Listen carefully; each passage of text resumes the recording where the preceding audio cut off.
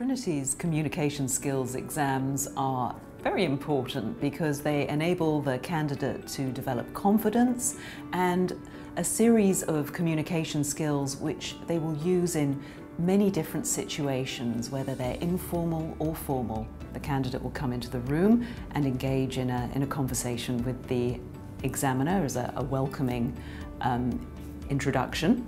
And then there'll be various tasks that uh, you have to perform. For a lower grade, it might be telling a simple story or describing the significance of a particular object.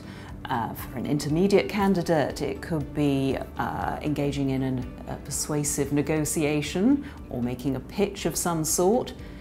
You will also be constantly discussing with the examiner who will be questioning you on um, the various tasks you perform, so it is very interactive. Of course, with the advanced exams, there could be an interview with a prospective employer, or you might be giving a, a television media interview on a, a national or local issue which is of great importance to you. Well, Trinity's communication skills exams do reflect real life scenarios.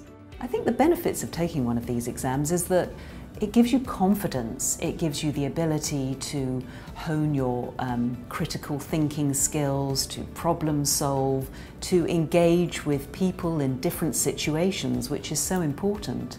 You can track progression easily throughout the exams because it's a structure and framework that you're presented from initial and foundation right up to the advanced levels, performing a series of different tasks which become progressively more complex and, and demanding.